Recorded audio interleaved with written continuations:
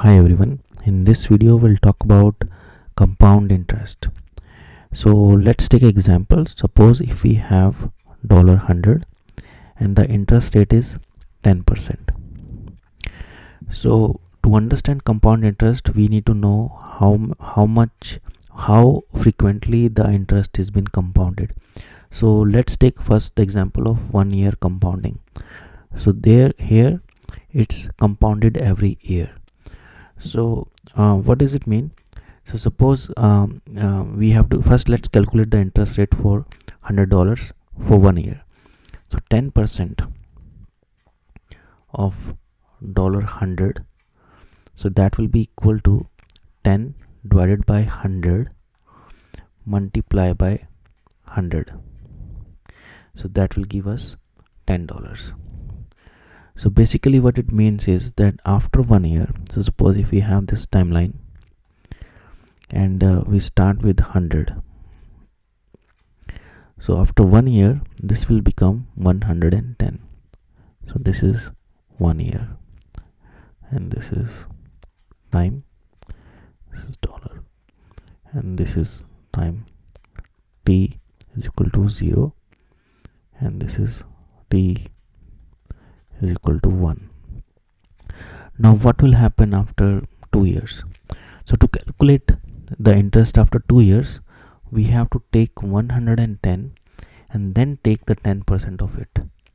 So 10% of 110 will be equal to 11 so remember that in the first year we only made $10 interest because our initial investment was $100 but now the initial investment has increased to 110 and now 110 uh, on on 110 we have to get another interest of 10% which will give us $11 so we will end up with $121 right?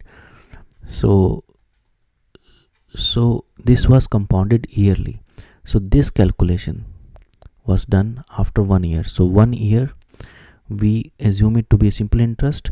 And then after one year we took this as an initial investment and then we again assume it to be a one year simple interest at 10% and we end up with 121 after two years. Now at the end of the two years we again have to assume this as an initial investment and then calculate the 10% so the 10% of 121 which will be equal to 12.1 so we'll end uh, we'll add 12.1 into it. So that will give us um, 133.1 dollars. So this is how the compound interest work. So just for the comparison if this would be a simple interest so this is compound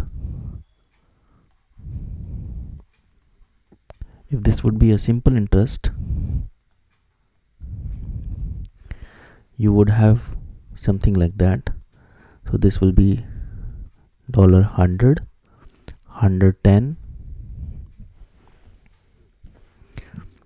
um, then 120 and then 130 so this is t is equal to 3 so if you look at the difference the difference um, is equal to 133.1 minus 130 so that is the difference of three dollar and ten cents after three years. So if you look at the formula for uh, compound interest it will look something like this.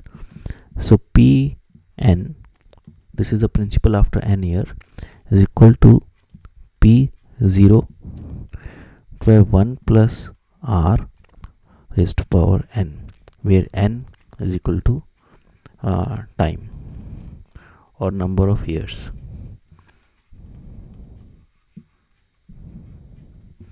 And uh, r is equal to interest rate so if you're interested in how we come up with the formula i think it's important. Uh, it's very straightforward. So suppose if we start with p0 right?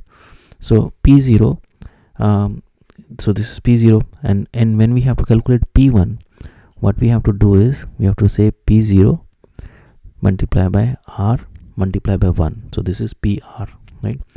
So and then we have to add p0 into it. So this is interest and this is principal